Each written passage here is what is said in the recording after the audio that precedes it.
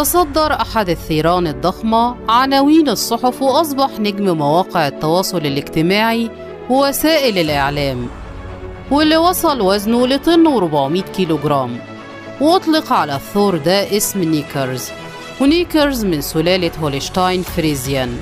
وطوله أقل من مترين وعمره سبع سنوات ويعتبر نيكرز من أضخم الثيران في أستراليا. أما عن أضخم ثور اتسجل في موسوعة جينيس للأرقام القياسية كان وزنه 2267 كيلو جرام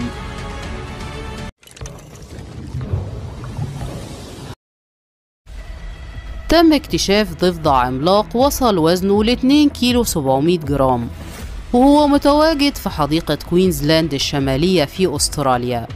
وأطلق على الضفدع ده اسم توتزيلا. وهو نوع من ضفادع القصب السامة بيتغذى على الطيور والزواحف والحشرات. وآخر ضفدع اتسجل في موسوعة جينيس للأرقام القياسية كان وزنه 2 كيلو 650 جرام سنة 91 في دولة السويد.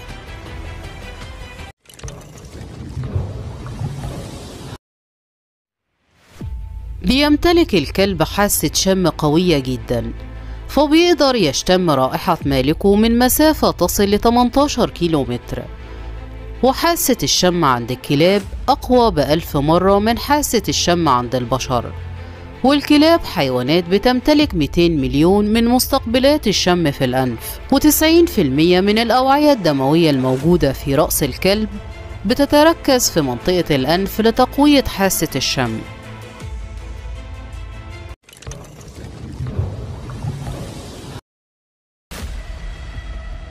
في ظاهرة غريبة من نوعها تم تسجيل رقم قياسي عالميا لطائر استطاع الاستمرار في الطيران لمسافة بعيدة جدا. لم تسجل لطائر قبل كده. وقالت موسوعة جينيس للأرقام القياسية إن الرحلة دي تم تسجيلها لطائر من نوع غودت المعروف بمنقاره الطويل. والمسافة اللي اتسجلت كانت 8495 ميل. يعني حوالي 13500 كيلو متر والرحلة دي كانت لمدة 11 يوم من ولاية ألاسكا الأمريكية لجزيرة تسمانيا جنوب أستراليا. والطائر في المدة دي لم يحصل على أي طعام أو راحة.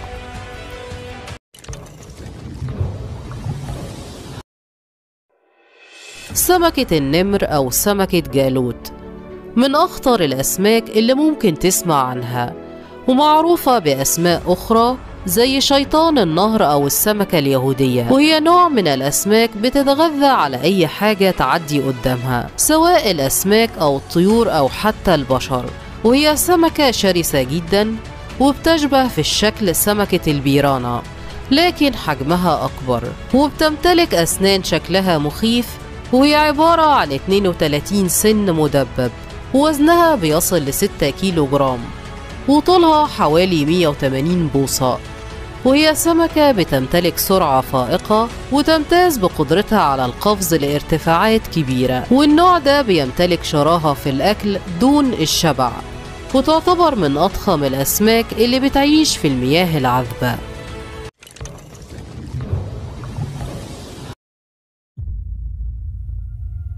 الصقر هو أحد أفضل المفترسات اللي بتنحدر من فصيلة الطيور الجارحة وأقل ما يقال عنه إنه ملك السماء بلا منازع. وتم تصنيفه من أسرع الكائنات على وجه الأرض.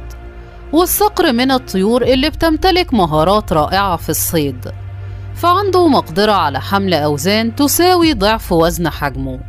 وبعض المعلومات اللي صدرت عن مختبر كورنيل لعلم الطيور بتقول إن الصقر لو وزنه واحد ونص كيلو جرام بيكون عنده مقدرة على حمل أرنب وزنه 3 كيلو جرام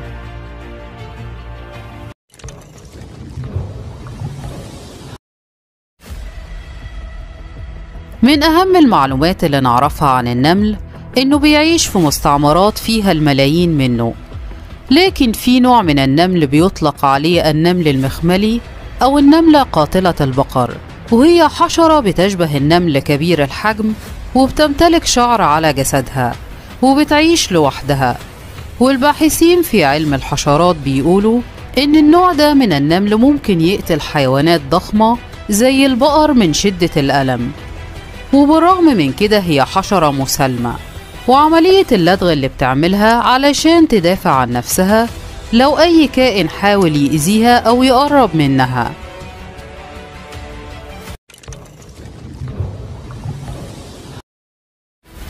أطول فترة حمل المخلوق في عالم البحار. هي لحيوان بحري بيطلق عليه القرش المزركش فبتصل حمل الأنثى الخاصة بيه لثلاث سنوات ونصف.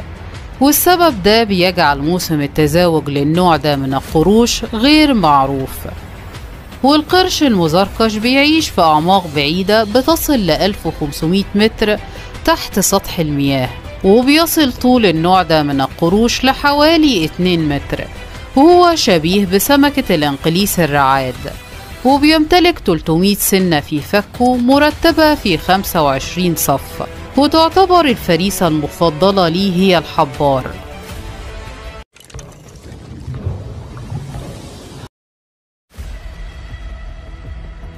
سمكة شمس المحيط والمعروفة باسم آخر مولا مولا.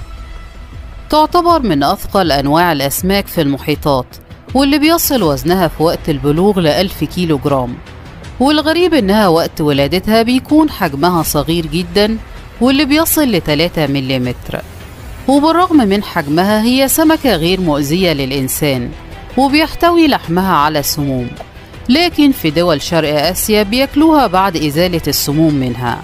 وهي سمكة لا تمتلك زعنفة ذيلية.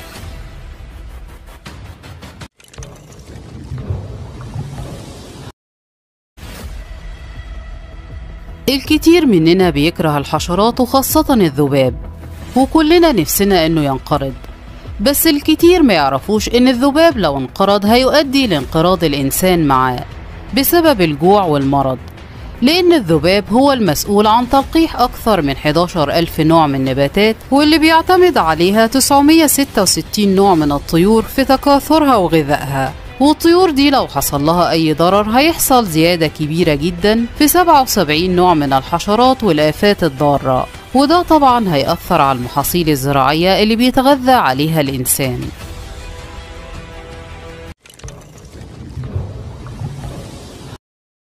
الكامة هو حيوان ناتج من عملية تلقيح صناعي ما بين ذكر الجمل وأنثى اللاما وتم ولادة أول حيوان كاما في 14 واحد سنة 98 في مركز توليد الجمال في دبي. والهدف من عملية التهجين هو حيوان قادر على إنتاج الصوف بكثافة زي اللاما وفي نفس الوقت بيمتلك حجم وقوة الجمل. واللاما بيتغذى على جميع النباتات وبيشرب المياه بكميات هائلة وبيقدر يحتفظ بيها لوقت طويل زي الجمال.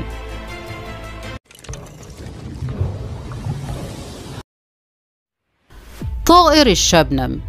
يصنف من أخطر الطيور في العالم ويعتبر تاني أثقل طائر في العالم بعد النعامة. والطائر ده يقدر بضربة واحدة من قدميه قتل إنسان بالغ بالإضافة لامتلاكه منقار قوي جدا فضربة منقاره بتشبه طعنة الخنجر الحاد. وأنثى الشبنم بتضع البيض الخاص بيها بجانب أي ذكر تقابله. والذكر ده يقوم برعاية البيض لمدة تصل لتسعة أشهر وبعدها بيرعى الصغار. أما الأنثى بعد ترك البيض الخاص بيها بتبحث عن ذكر آخر للتزاوج.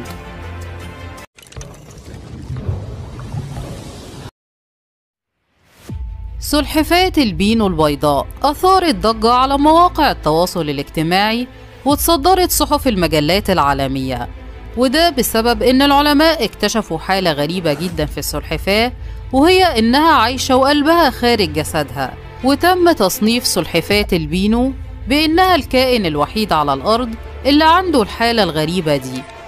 ونشر صاحب السلحفاة صورة ليها على حسابه الشخصي وقال إنه بيعتني بيها باستمرار وده للحفاظ على حياتها.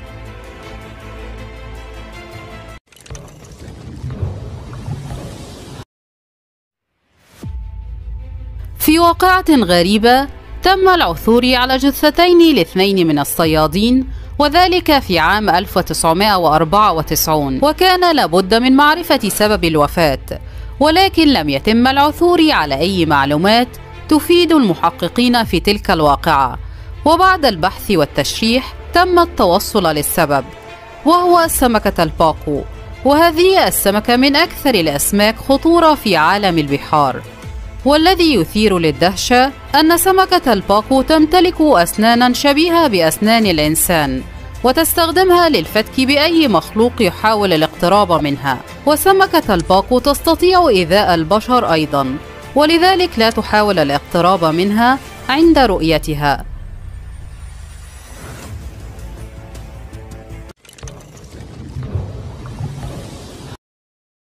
في ولاية نيو جيرسي الأمريكية حصلت حاجة غريبة جدا وهي إن غزالة عايشة وفي سهم مخترق عظام الجمجمة الخاص بيها والسهم ده كان سببه صياد بيحاول يصطاد وفشل بعدها والغريب إن الغزالة لسه عايشة. والأطباء بيقولوا إن السهم ده لو اتشال هيبقى فيه خطر على حياتها والأفضل ليها إنها تعيش في الألم ده أحسن من الموت. وللأسف الموضوع ده موجود في غزلان كتير.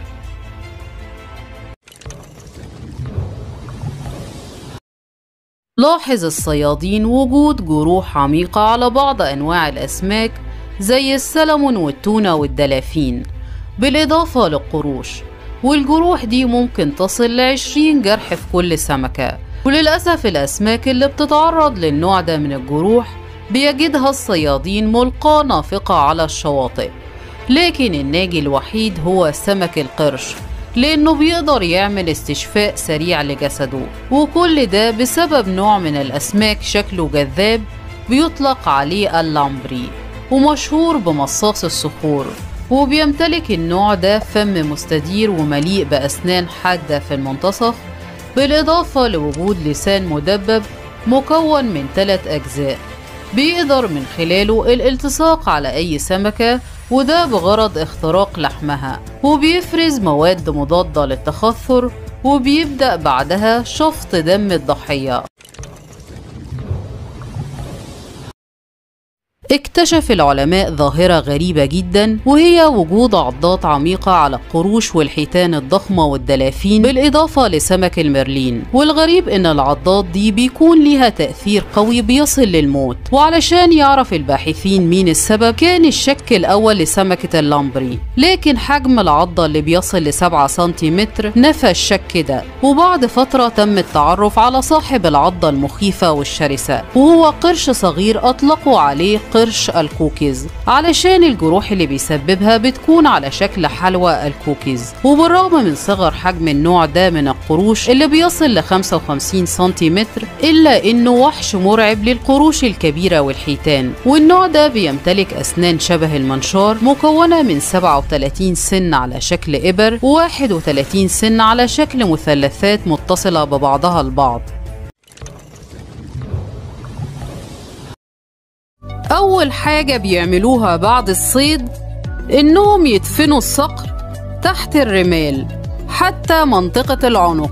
والسبب هنا إن الصقر بيمتلك عزة نفس وكبرياء شديدة فما بيقدرش يعيش غير وهو حر لأن أول ما بيتم أسره بيفضل الانتحار عن إنه يعيش أسير للبشر. والصقر علشان ينتحر بيقوم بنقر جسده بمنقاره حتى الموت. وفي سبب تاني بيخلي الصيادين يدفنوه في الرمل وهو التوتر الشديد اللي بيحصل للصقر.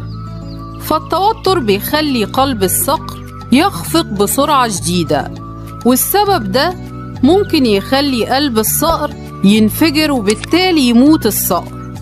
وعلشان كده بيتم سكب الماء على الرمال من الصيادين.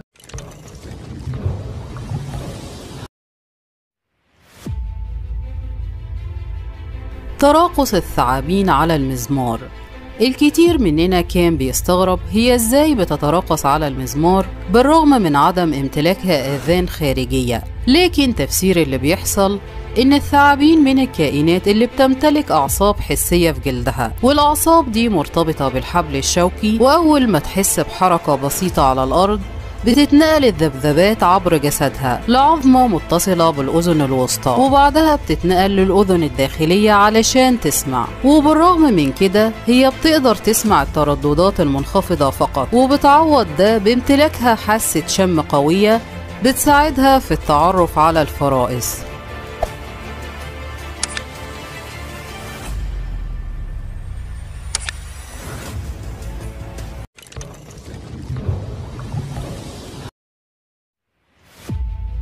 طائر الكاتب أو كما يطلق عليه صقر الجديان. هو صاحب أقوى منقار في عالم الطيور. فبتصل قوته ل 195 نيوتن والقوة دي تعادل خمس أضعاف وزن جسده وبالتالي وقت هجومه على الفريسة بتجعل وزنه يقدر بثقل 20 كيلو جرام والقوة دي بتساعده في صيد الفرائس بسهولة فبيقدر يصطاد الأفاعي والأرانب البرية والقوارض ومن أهم الفرائس الظباء والغزلان وده سبب تسميته بصقر الجديان والصفات الرائعة دي جعلته شعار لدولة السودان الشقيقة. وهو طائر بيمتلك عزة وكبرياء زي البشر. علشان كده ما بيقبلش تدريب الإنسان ليه وبيتم الاستعانة بيه في الصيد وبعض الرياضات ويعتبر النوع ده من أقدم أنواع الصقور في العالم.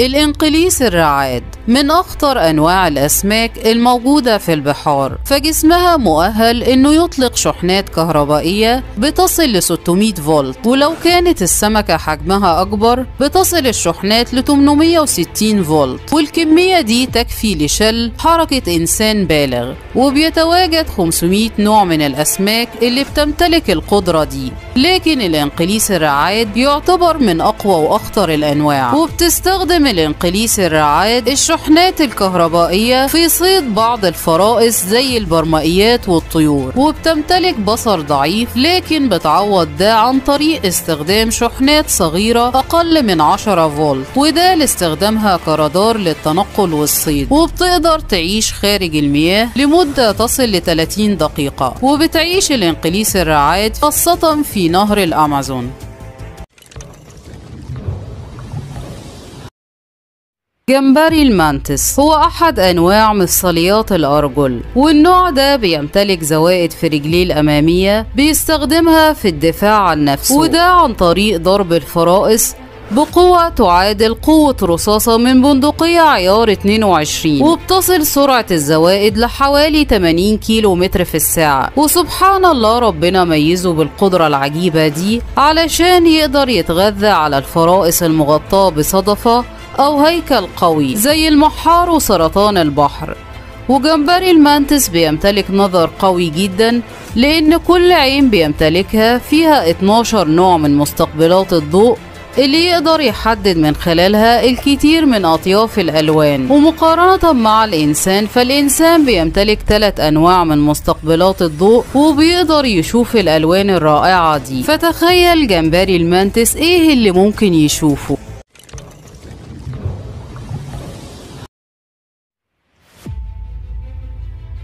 خلد الماء أو البلاتيبيوس هو أحد أنواع الثدييات اللي حيرت كتير من العلماء في تحديد نوعها وده لأنه كائن غريب جدا. فهو بيمتلك منقار في وجهه وبيبيض زي الطيور وفي نفس الوقت بيمتلك ذيل زي القندس وأنثى لما بتبيض بترضع الصغار بعدها. وخلد الماء من الحيوانات السامة جدا. فالذكر بيمتلك مخلب سام يقدر من خلاله قتل حيوان في حجم الكلب والغريب إن درجة حرارة جسده بتصل ل 32 درجة في حين إن باقي الثدييات بتصل ل 37 درجة. وهو حيوان بيتغذى على جراد البحر والديدان والسمك وبيعيش 11 سنة في البرية و17 في الأسر ووزنه بيكون من 700 جرام لحد 2.5 كيلو جرام وطوله من 43 ل 50 سنتيمتر.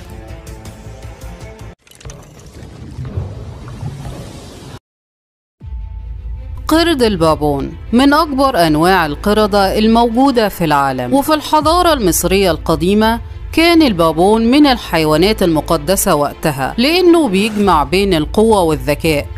وقرد البابون حيوان اجتماعي جدا وبيعيش في مجموعة بيطلق عليها الفرقة وبيتواجد فيها من 20 ل 100 قرد. وفي كل فرقة بيتواجد مجموعة من الجنود مهمتها حماية الإناث والصغار ولازم يكون واحد منهم الزعيم.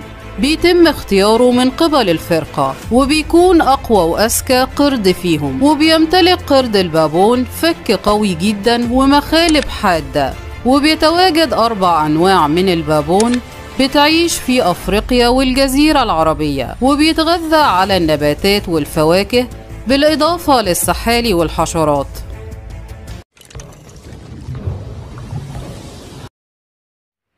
الكوالا هو أحد فصائل الجرابيات ومعروف عنه إنه حيوان كسول جدا وده لأنه بينام 20 ساعة يوميا ومن أغرب المعلومات عن الكوالا إنه بيلد صغاره غير كاملة النمو لكن أول ما بتتولد بتظل ست شهور في جراب الأم وده لاستكمال نموها. وبتتغذى الكوالا على أوراق الشجر وعلى التراب وده للحصول على الكالسيوم وبعض المعادن اللي بيحتاجها الجسم ومن الأنواع اللي بيتغذى عليها أوراق شجر الكافور وشجر الأوكاليبتوس وهي سامة جدا.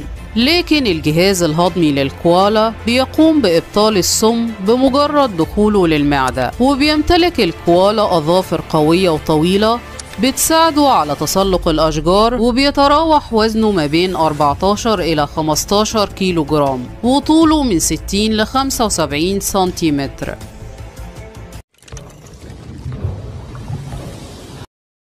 يصنف العقرب من مفصليات الأرجل التابعة لرتبة اللافقاريات وبيمتلك العقرب سم أقوى من سم الثعابين وبيتواجد منه 2000 نوع حول العالم منها 30 نوع سام والسم اللي بيمتلكه العقرب عنده قدرة إنه يقتل إنسان بالغ. والسم ده موجود في غدة في نهاية الذيل وبيصل سعر الجرام الواحد منه في بعض الأنواع لعشرة آلاف دولار.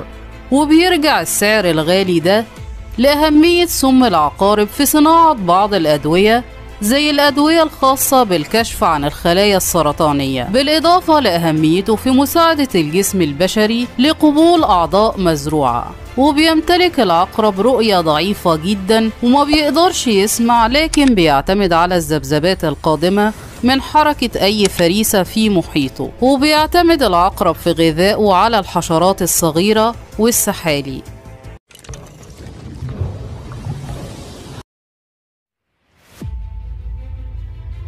على الرغم من أن الثعابين السامة قاتلة للبشر والحيوانات إلا أن البدو العرب بيستخدموها في علاج الجمال من مرض الهيام والمرض ده لما بيصيب الجمل بيخليه يراقب الشمس من الشروق لوقت الغروب وده من غير طعام وبيفضل لفترة لحد ما يضعف ويموت. وبيكون العلاج عند البدو هو فتح فم الجمل وإدخال أفعى سامة. في اعتقاد منهم إن السم بيتفاعل مع جسم الجمل فيتم شفائه لكن الطب الحديث نفى العلاج بالطريقة دي لأن مرض الهيام عبارة عن جرثومة بتعيش في الدم وبتتنقل عن طريق الذباب المص للدماء أو أكل الجمل للفضلات بالخطأ. وبتكون الأعراض هي حمى وسيلان دموع وظهور أورام على جسم الجمل وبيتم علاجه عن طريق الحقن وأخذ الدواء اللازم.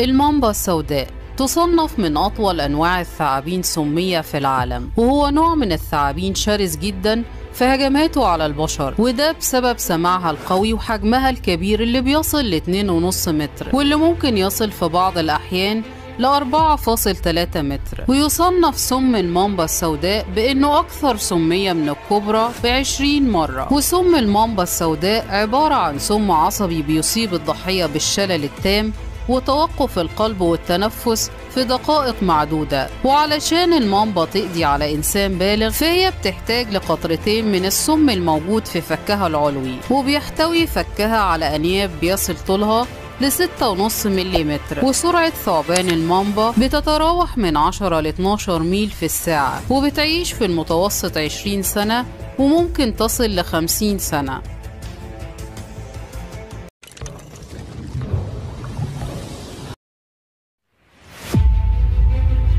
بايثون الأشجار الخضراء.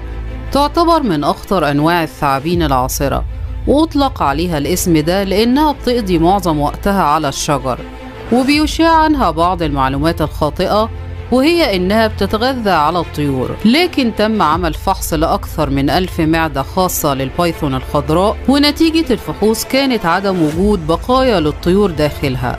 واستراتيجية الصيد الخاصة بها هي عض الفريسة أولا. وبعدها بتلتف حواليها لحد ما توصل إنها تخنق الفريسة. وبيصل طول البايثون الخضراء البالغة من 120 ل 200 سنتيمتر وبتقدر تتعرف على ضحاياها عن طريق استشعار الحرارة المحيطة بجسدها وبالتالي بتحدد الفريسة.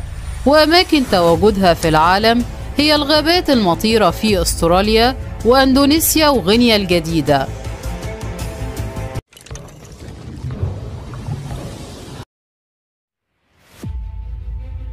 تصنف أفعى الكبرى من أكثر أنواع الثعابين سمية في العالم وبتمتلك الكبرى أنياب سامة في فكها العلوي وعلشان تصطاد ضحاياها الطريقة الأولى هي غرز أنيابها السامة في جسد الضحية.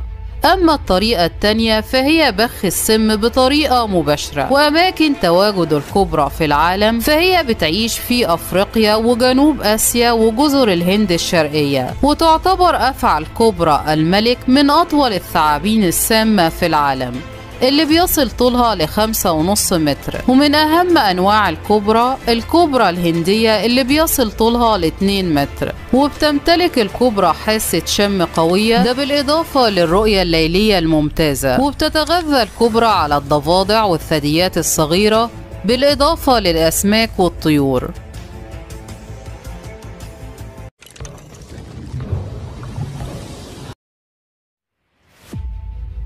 تصنف الخفافيش من الثدييات الوحيدة اللي بتمتلك قدرة الطيران وبيتواجد منها حوالي 1100 نوع حول العالم وأكبر أنواع الخفافيش الخفاش الثعلب اللي بيصل وزنه لكيلو 400 جرام. لكن أصغر الأنواع بيطلق عليه خفاش الحذوة الصغير اللي بيصل وزنه لأقل من 45 جرام. وبيشاع عن الخفافيش إنها بتتغذى على الدماء فقط لكن بالإضافة للدماء فهي بتتغذى على الفواكه والحشرات وده حسب نوعها. وتعتبر الخفافيش من الثدييات اللي ليها دور مهم في زراعة بعض أنواع الأشجار وده بسبب إلقاء البذور أثناء التغذي عليها. وتعيش الخفافيش في المناطق الدافئة القريبة من خط الاستواء. فهي بتتواجد بكثرة في جنوب وشرق آسيا وبعض الأنواع الصغيرة منها بتعيش في أفريقيا.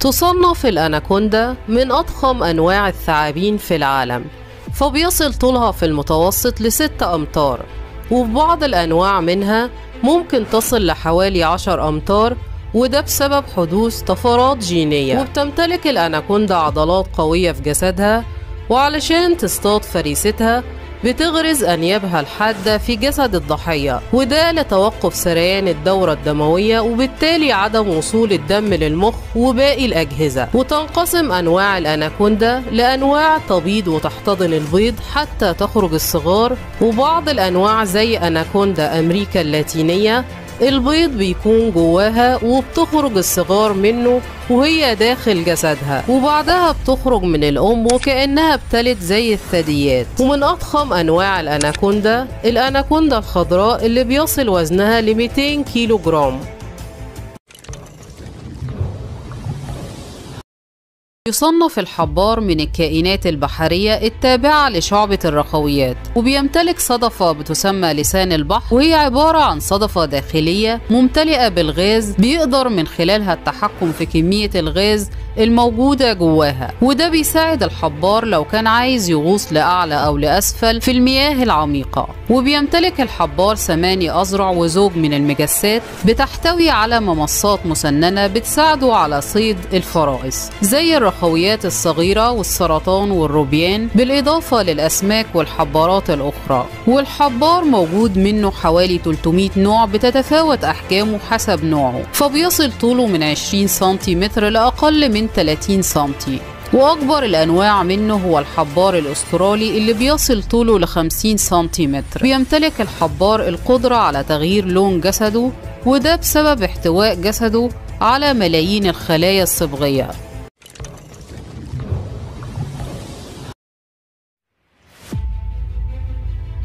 تصنف أفعى البايثون من الثعابين الغير سامة وبيتواجد منها أكثر من 40 نوع وجميعها بيتفاوت أحجامها حسب نوعها. فأصغر الأنواع منها زي بايثون عش النمل بيصل طولها لعدة سنتيمترات وأكبر الأنواع منها بيصل لتسعة أمتار وهي أفعى الثعبان الشبكي. واستراتيجية الصيد الخاصة بها هي نصب الكمائن. وبعد وقوع الفريسة تقوم بالالتفاف حولها بقوة وده لمنع وصول الدم إلى المخ بعكس ما يظن البعض بأنها بتكسر عظام الفريسة. أما عن أماكن تواجدها في العالم فهي بتعيش في آسيا وأوروبا وأفريقيا وأفعى البايثون بتعيش حوالي 25 سنة وفي بعض الأحيان بتصل ل 35 سنة.